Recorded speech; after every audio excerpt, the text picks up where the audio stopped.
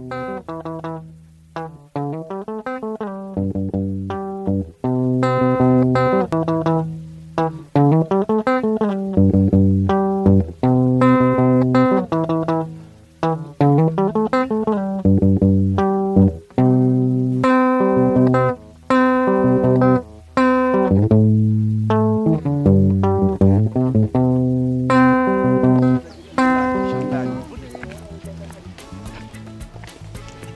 byiza kuri mwe mwese mukomeje kudukurikira muri gahunda za Royal TV by'umwihariko mu kiganiro cy'ubuhinzi n'ubworozi. Uyu munsi turi mu karere ka Kicukiro mu kigo Gako Organic Farming Training Center. Tugiye kurebera hamwe buryo ki ubuhinzi bushobora kubangikanwa n'ubworozi kandi byose bikabasha gutanga umusaruro. Bikunganirana nta kibangamiye ikindi. Ni ikiganiro ubuhinzi n'ubworozi kuri Royal TV ngende Fulgence Hakizuwera mu kigo gikora kikanatanga amahugurwa ku bworozi n'ubuhinzi bikozwe mu buryo bw'umwimerere. Sugira Janvier umwagoronome muri iki kigo. Aradutemberezamo twerekeza ku biraro by'inka. Arabanza gusobanura uburyo iki kigo cyatangiye n'uburyo cyita mu gukora no gutanga amahugurwa kuri ibi bikorwa ariko mu buryo bw'umwimerere. Ni karibu. Mbere na mbere eh, tubanje kubaha ikaze muri iki kigo gitanga amahugurwa ku bintu by'ubuhinzi n'ubworozi bukozwe mu buryo bw'umwimerere ibyo bita organic farming. Eh, hano rero akaba ari ikigo kimaze igihe kinini eh, kikaba kimaze gufatanya n'abahinzi borozi batandukanye mu buryo bw'amahugurwa cyangwa se mu buryo baza gusura kugira ngo bagire ibyo bahungukira. Iki kigo mu by'ukuri cyatangiye ibikorwa byacyo mbese cyatangiye ki- kisuganya gake gake eh, bataragera ku mu buryo bwo guca inzira kugira ngo ibe ndende. Ibikorwa byaguke batangiriye ku tuntu dukeya. Nk'uko tubitanga muri gahunda yo kwigisha abantu ko umuntu ufite ibintu bikeya eh, kwa kundi aba ataramenya kubibyaza umusaruro hari icyo biba bisaba kugira ngo amenye agire ubwo bumenyi. Ni muri urwo rwego rero hano iki kigo kimaze imyaka cyatangiye muri za bibiri bibiri na rimwe ni bwo cyatangiye kwakira abantu bwo kubaha amahugurwa. Ariko mbere yaho batangiye gake gake bisuganya bagenda bahuza ubumenyi bakora utuntu tw'ubushakashatsi mu bintu byo kubyazwa eh, ibintu bidukikije dufite hafi kubibyaza umusaruro mu buryo bwo kurwanya kwirinda biriya bintu by'imvaruganda cyane cyane by'amaproduwi chimique. Haba ari amafumbire hari uburyo ki dukora amafumbire mu bisigazwa byo ku misaruro hiyongeyeho n'imyanda y'amatungo bikaba ari ifumbire imeze neza kandi eh, itagira ingaruka ku butaka no ku bihingwa noneho no ku bantu urumva ko nta, kintu bya byazamugiraho ingaruka kuko ni ibintu by'umwimerere. Sugira Janvier avuga ko ibi biraro batangiye bimwe ari iby'ihene. Aha ngo banahereye ku nka enye zonyine mu myaka ya za bibiri. Ariko uko iminsi yagiye ishira inka zagiye ziba nyinshi. Bituma bagenda bya bindi byari bigenewe ihene babihinduramo iby'inka. Buri kimwe cyose kigaragara hano ntago uko aho kigeze ubu ngubu ntago ariko byatangiye bingana. Urumva turaza kureba nitugera ku kindi kiraro hari ibiraro byatangiriweho hari harimo inkenye zonyine Eh, muri icyo gihe cya mbere ya bibiri nizo zari zihari noneho muri za nyuma yaho uko zigenda zibyara uko zigenda zigira gute zarorotse ariko kwagura n'ibiraro ubu biraro by'inkorabo turaza kugera no ku bundi turasanga ari byinshi. Imishinga igitangira mbere nta hari amoko menshi y'amatungo. Dufate nk'urugero nk'iki ngiki tugezeho ni icy'inka ariko mbere cyari gikoze mu buryo ari- ari icy'ihene kuko hari ama- bahereye ku matungo atandukanye ku buryo mm, n'abantu batuye hafi aha ngaha bagiye borozwa mu buryo butandukanye borojwe na hano. Muri bwa buryo umuntu arushaho kukoroza wenda ukazitura cyangwa se niyo utakwitura uka- ukaziturira mugenzi wawe. Sugira Janvier avuga ko batangira iki kigo ngo batangire kuri bike ariko bikagenda byaguka kubera intego ntakuka yo gutera imbere bari bafite. Ni naho bahereye batiha ibigoyi ngo borore inka z'inzungu zuzuye kuko izi ari imvange ngo zitabarushya cyane kandi ngo zinatanga umusaruro.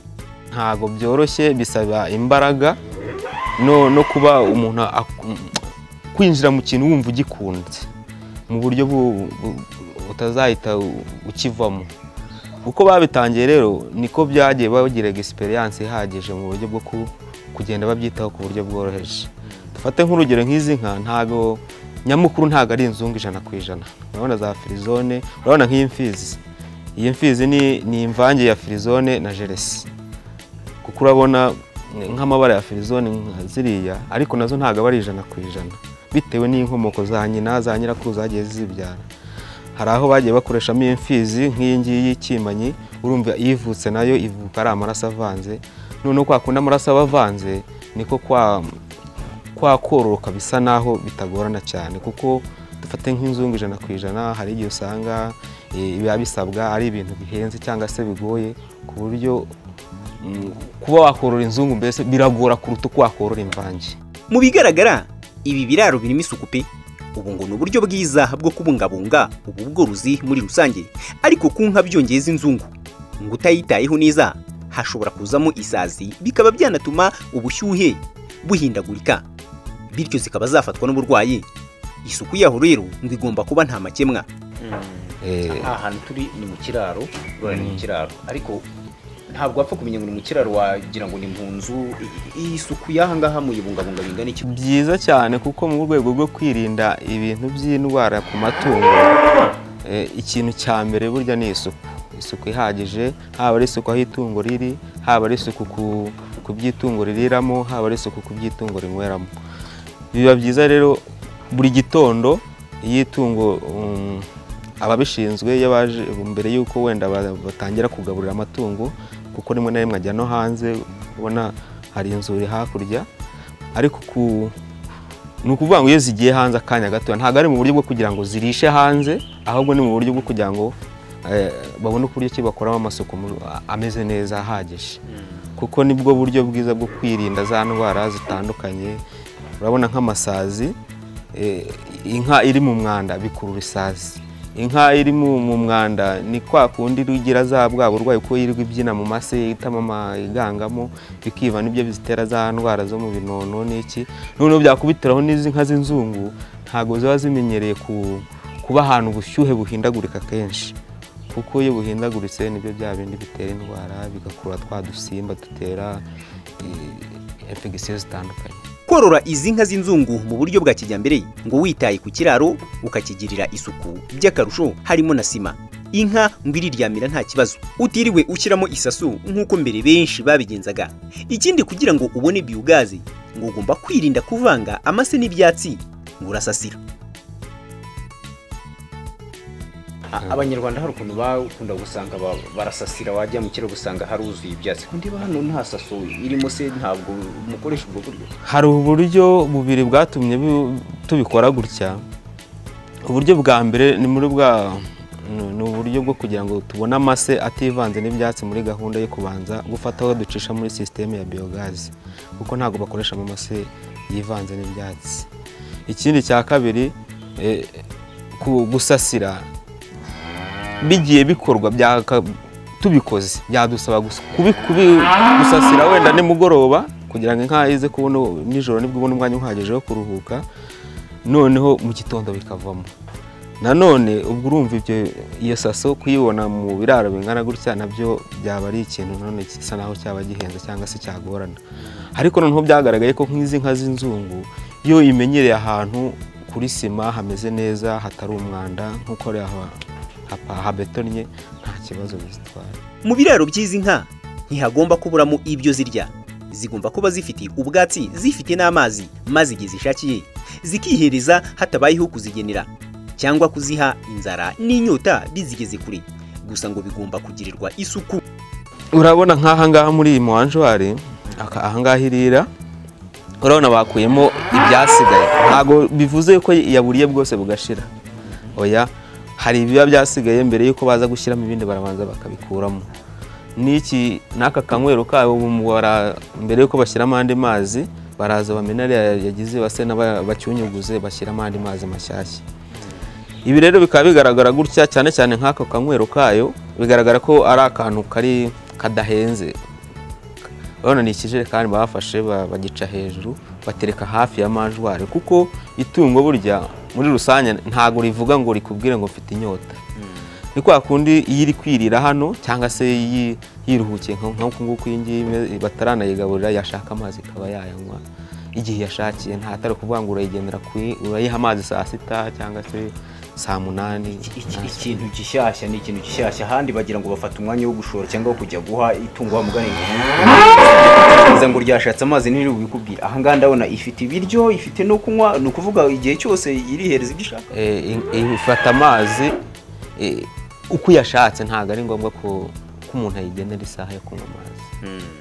Okay, mu- n'ahandi mu bandi borozi cyane cyane nk'abororera hanze hari ababa barakorotiriye ifamu yabo ugasanga inka zibera nko hanze wenda ari naho n'ibiraro biri naho baba bafite ibibumbiro kwa kundi irimo ku- kugenda irisha hirya no hino yakumva ishatse amazi ikaza muri cya kibumbiro ikongera ikabikora igakomeza ubwo buzima gutyo mu buryo bwiza bwo gutegura korora ngo ushobora korora ubwoko butandukanye bw'amatungo ariko ngo utandukanya ibiraro kugira ngo umwuka uva muri bimwe utabangamira ibindi. Gusa hano muri iki kigo umwuka uturuka mu biti byiza cyane biteyemo. Ngo utuma akayaga kaza ntube wakumva umwuka mubi. Urumva mu- buryo bwo gutegura ferme ha- hari amatungo hari ukuntu ugenda usa naho utandukanya amatungo runaka n'andi runaka. Mu muco nyarwanda ho bakunda kubivuga kenshi ko n'ahantu umuntu yoroye nk'in- inka yororeye inka atakagombye gushyiramo n'ihene cyangwa se n'ingurube. Ariko bigaragara yuko iyo bihujwe byose bira- birashoboka ariko ukirinda wenda kubyegeranya kuko eh, imiterere y'itungo y'ubwoko bumwe ushobora kubangamira ubwoko bundi. Urabona nk'umwuka uva mu ngurube cyangwa se umwuka uva mu ihene niba warageze ahantu bororera nk'ihene nyinshi ushobora kubangamira wenda nk'izi nkoko za kizungu cyangwa se ukaba wabangamira wenda nk'inka. Birashoboka ariko gusigamo intera nk'iyi ngiyi na byo biba byiza. Ikindi nanone nk'uku nguko ahantu hari ibintu by'ubuhinzi n'ubworozi nk'uku nguku hakagombye kuba hari ibindi bintu bihari by'ibidukikije dufate nk'ibi biti biteye urumva ukuntu umwuka uba ugenda usirikiramo niyo wenda baba batarakoramo isuku wumva ko nta mwuka mubi uri hano. Niyo baba batarakoramo isuku ku buryo ugaragara ko urabona nk'iki kiraro ntabwo bari bakayikoramo baracyari gukora hariya hirya ubwo mu kanya baraza n'ibi ngibi babikuremo. Mm. ntabwo turi kumva umwuka w'amasiri ni ukubera? Eh, ni ukubera umwuka utangwa n'ibi bidukikije ubona bigiye bikikije ahantu hatandukanye. Nk'ibi biti urabona noneho nk'iki kiraro ukuntu cyubatse urabona kirazamuye ntabwo gifunze umwuka urinjira. Mu ruhongore rw'inyana zimaze gucuka imitavu. Sugira janvier.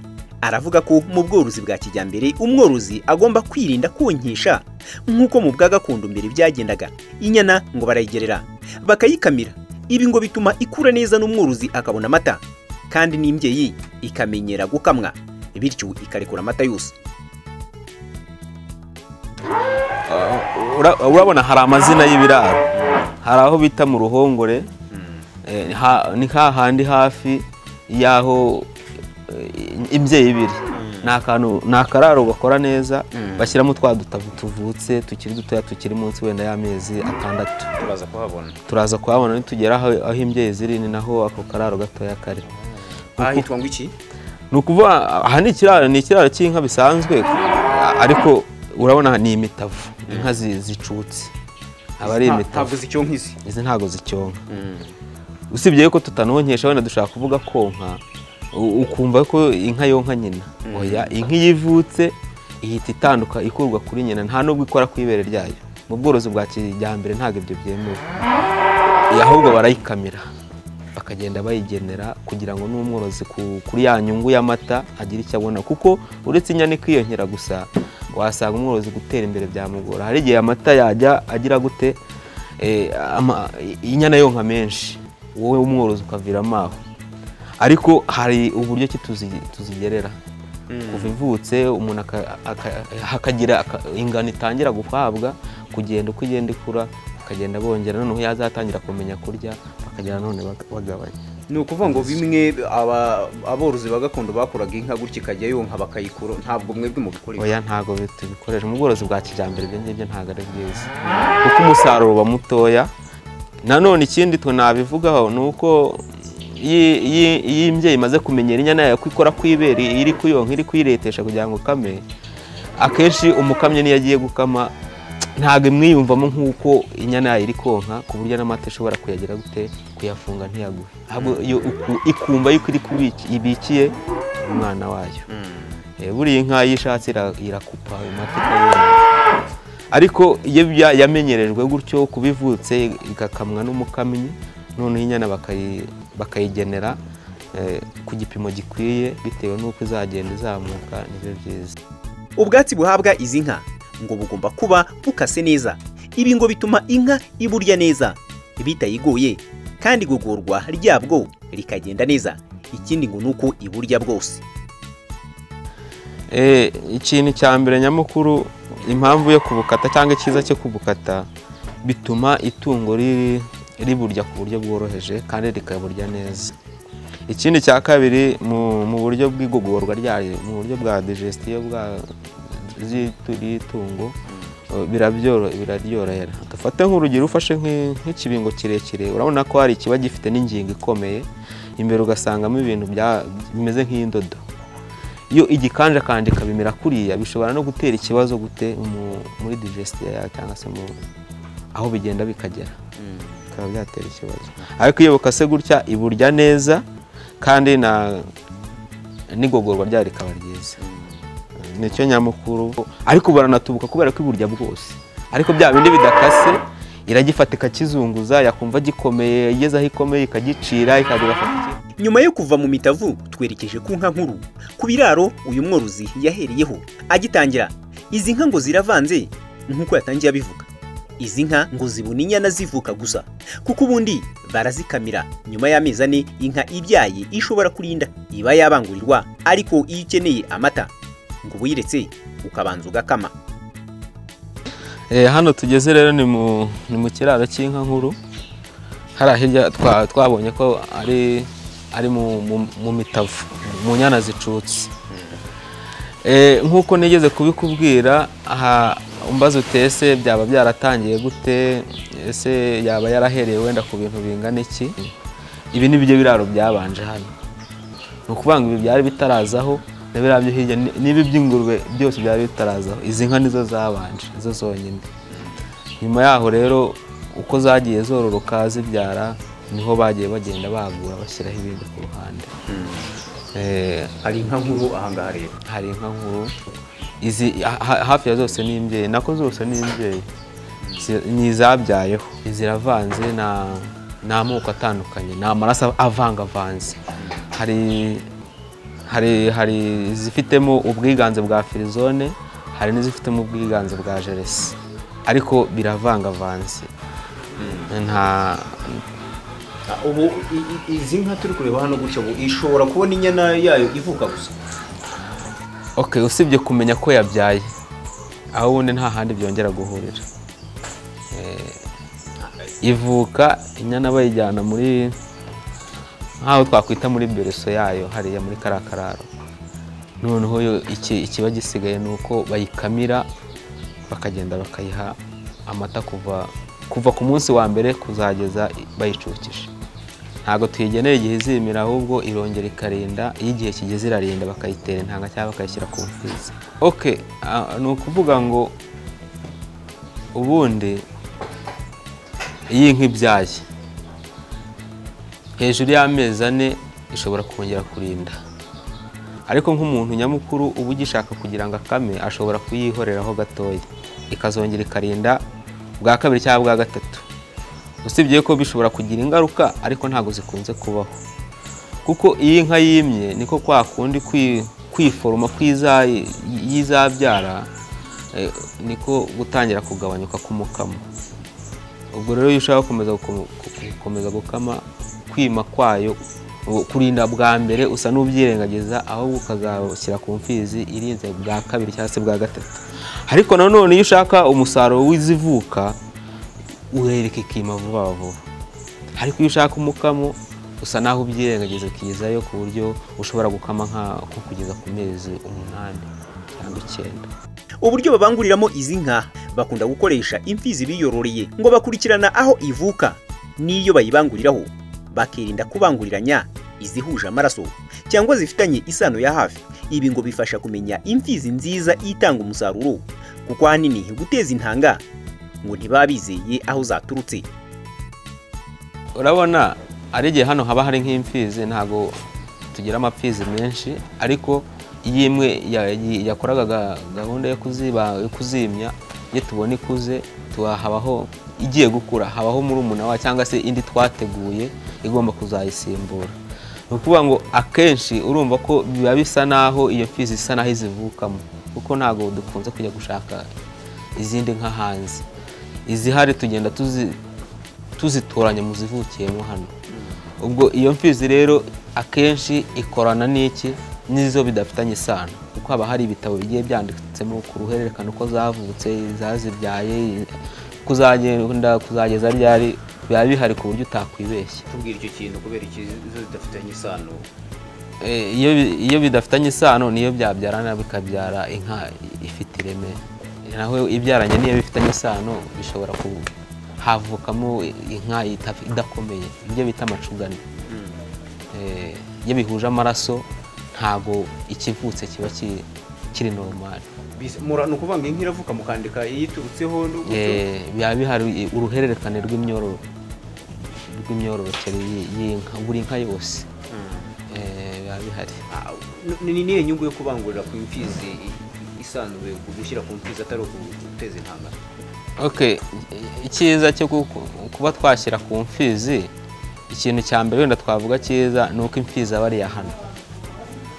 Tuba dufite ukuntu tuba twarakurikiranye imyororokere myiza cyangwa se uko ibisabwa byose tuba twaragerageje kubishaka kugira ngo itungo ribe ryujuje ubuziranenge niko navuga. Riba rifite ubudahangarwa. Bitandukanye n'uko umuntu ajya gushaka imfizi hirya ku wundi mworozi. Kuko eh, uko inka igenda yimya inka zitandukanye zituruka ahantu butazi ibyazo niba zitabona inkingo niba zigira gute ishobora kwandurira iyo nka ishobora kuza ifite ibibazo ikaba yakwanduza ya mfizi. Noneho ya mfizi nanone wayikoresha mu, bworozi bwawe ugasanga ya ndwara ya- yandujwe na ya nka yaturutse hirya ugasanga eh, iyo mfizi na yo yikwije mu matungo yawe. Icyiza rero cyo kubanguriza i- gukoresha imfizi ni uko dukoresha imfizi yacu kandi tukaba twarayitoranyije tu- tubona ari icyororo cyiza. Eh, ku buryo i- izizajya zivukaho na zo zizaba ari inka ubona zisobanutse cyangwa se eh, zigaragara neza.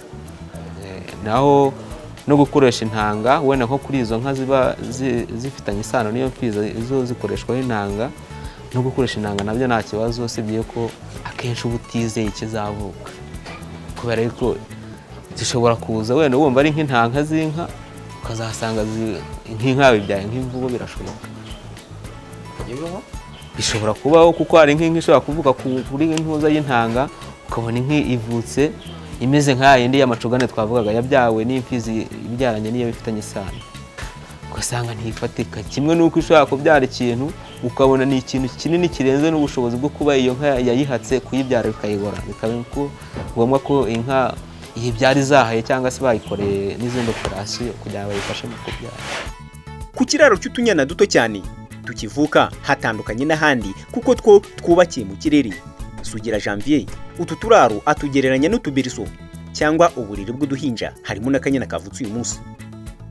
Ni ukuvuga ngo ahangaha nk'uko twagiye tubona ibiraro bitandukanye birimo n'inka z'ingeri zitandukanye eh, aka ni akararo kagenewe utu udutavu tukivuka utunyana tukiri dutoya urebye nk'aho nk'ukuntu twubatse bigaragara nk'aho ko ari nka za mvugo z'ubu nk'aho twakwita ko ari nk'akabereso k'akanyana gatoya kakivuka. Eh, urabona urebye nk'uko ukuntu kubatse ni eh, uburyo bwo kugira ngo niba kaganze eh, amaganga ahita agenda. Nicyo kinyamukuru cya mbere.